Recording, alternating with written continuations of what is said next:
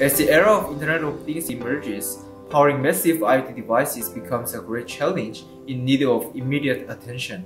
And the radio frequency wireless power transfer based on electromagnetic wave has emerged as a candidate technology to remotely replenish electric power for IoT devices. But despite the great potential of the RFWPT, there are some points which are needed to be improved to adapt to real life.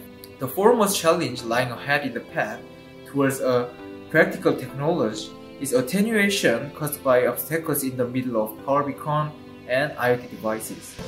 Wall, furniture, and even human, everything that faces in the middle of the transmitting path is an obstacle when it comes to EM wave propagation. In order to solve this problem and make it more feasible, one could adopt an intelligent reflecting surfaces, or simply IRS, which consists of hundreds to thousands of unit cells. IRS is one of the promising technologies that is capable to configure the wireless environment intelligently by incur some changes to the incident EM waves, whether it's phase, amplitude, frequency, or even polarization. Let's say we have to transfer energy to the IoT device under this kind of environment. Due to the obstacle in the middle, the delivered power could be extremely low. But by deploying our IRS and implementing our proposed algorithm, the transfer energy level can be kept stable. So now we would like to show you the description of our project and how it works. First of all, in this work, we aim to implement the system which operates at 5 GHz. Then for the power beacon, we have designed and fabricated a phase array board, an array antenna board with 64 elements, and an amplifying board. Then we combine it together as a sandwich structure. The IS itself consists of two parts, a metasurface and a control board. The metasurface has 16 by 16 unit cells, in which each unit cell is integrated with a PIN diode provide different phase response to incoming wave. And finally, the IoT device is also comprised of multiple antennas. Each part has a rectifier so that the received RF signal can be converted to the DC power and then this can be stored to the supercapacitor. In this work, we use beam scanning method to change both transmitter and IS to obtain the best configuration. Indeed, 8 beams of the transmitter and 16 beams of the IS are scanned consecutively. Then, the combination with the highest received power will be selected. The first test conducted in the real-life environment where the power beacon is located on the corridor and the IoT device in the classroom. This setup is for comparing the received power with and without proposed distance.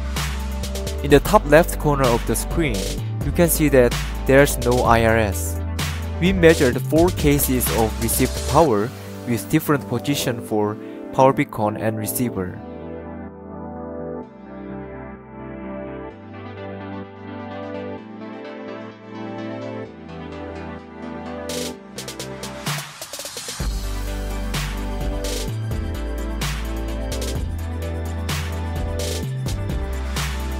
Secondly, we verify the battery of the IoT device can be charged with proposed system.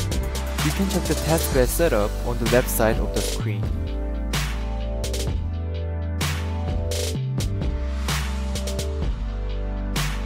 Lastly, we'd like to show the difference between with and without IRS in intuitive way. Let's see this graph together. Based on proposed algorithm, power is transmitting with optimal pattern. At this moment, we remove the IRS.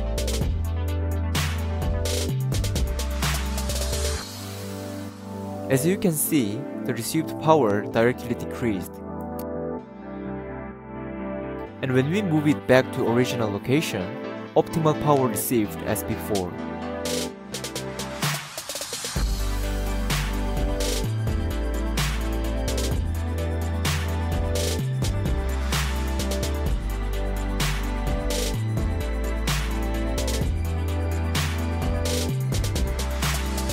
And let's move the receiver this time.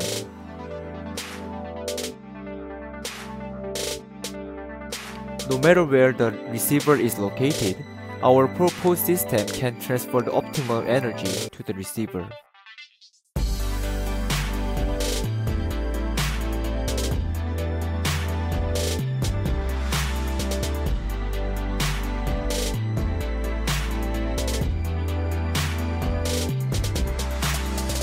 Introduced phase array and IRS, we expect that we can adapt our works to communication system as well.